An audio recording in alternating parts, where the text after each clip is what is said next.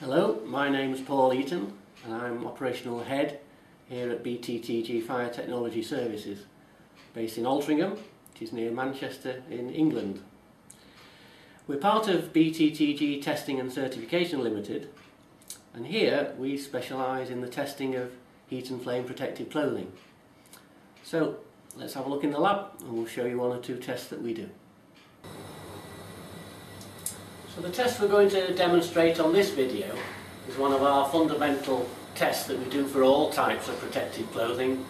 It's for checking that the fabric doesn't burn.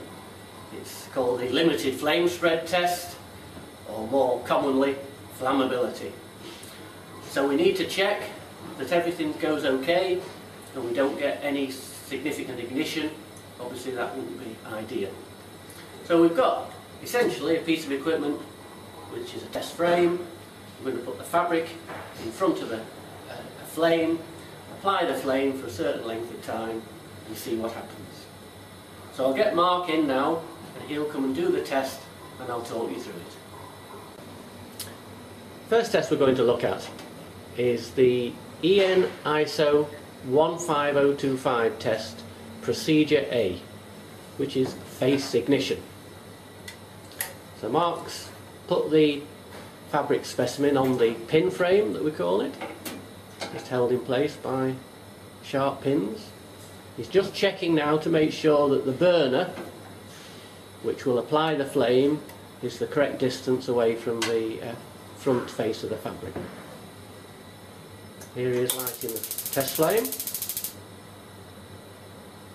And now we'll apply that for a period of 10 seconds to the face of the fabric. Okay, so we're more or less ready to go. Test flames lit, fabric in place. We'll start the test. The lights will go out so we can see better what's uh, going on. Here we go.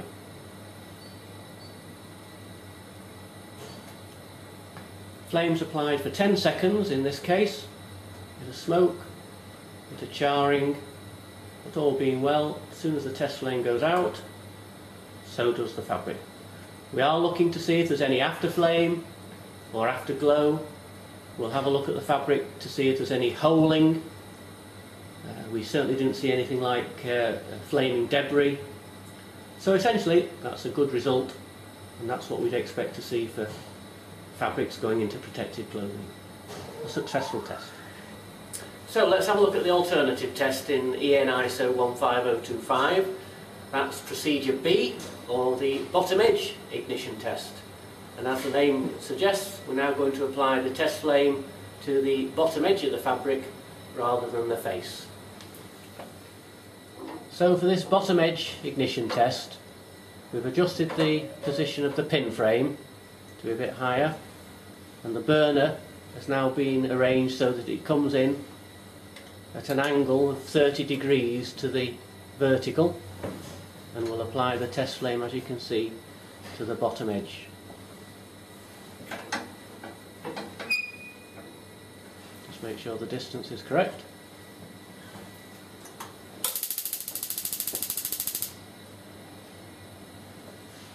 Okay, ready to go. Lights out. Bit smoke glowing at the bottom there. Test flame out, all activity cease. Successful test.